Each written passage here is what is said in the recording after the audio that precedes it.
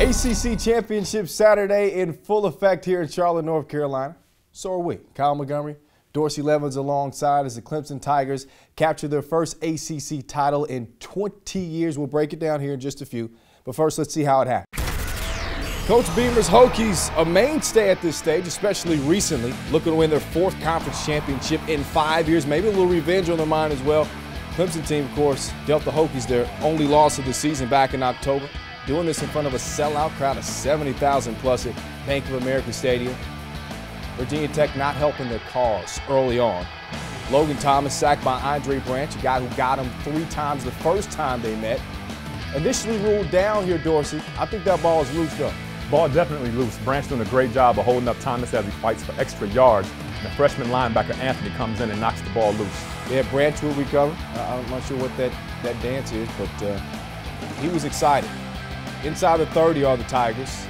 Looking to get on the board. There's Tajh Boyd finding a wide open Dwayne Allen, the big fella, fighting his way into the end zone. You got like that. Oh, I love it. Big guy, agile, man. Nice move on the sideline. This is the ACC championship. He will not be denied from getting in the end zone. Uh, Coach Beamer obviously not happy. His team trying to answer back. Logan Thomas hooking up with Marcus Davis, 21 yard gain. Two plays later, second and two. Thomas says, I want 45. Hooks up with DJ Coles, who takes it into the end zone. How this play develop here?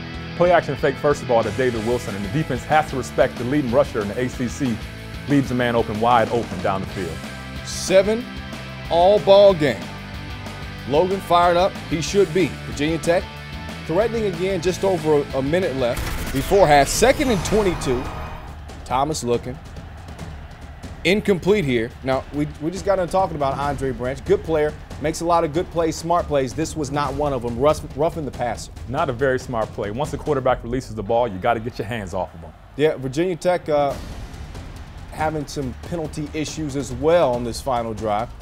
Holding called here. They would move it back. But pay attention to the clock here, Dorsey. Somebody call timeout. It's still ticking. Nobody's calling timeout. No timeout.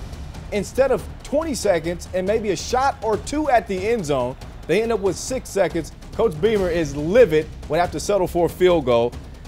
10 all ball game at the break. Third quarter, Clemson coming out hot. But they almost didn't.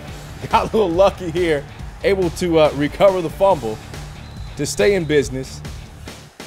And the drive would end up pretty well for them. Tajh Boyd hooking up with Dwayne Allen, eight yard touchdown pass, 17 10. Clemson in control, looking for more this time. Boyd rolling out. We've seen this before. Hooks up with Sherman. Sammy Watkins, 53 yard touchdown. And they were also doing their thing on the ground as well. Andre Ellington, when he's healthy, the boy can go.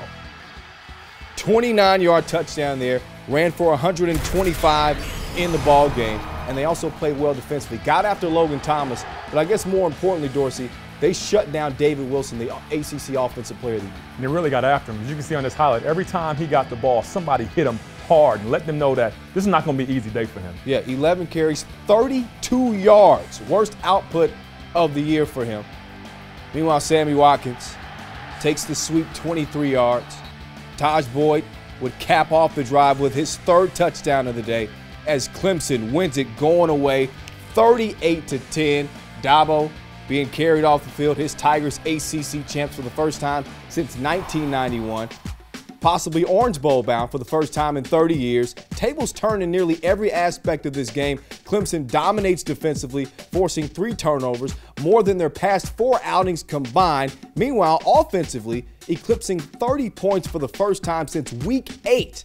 Clemson Tigers, your 2011 ACC champs.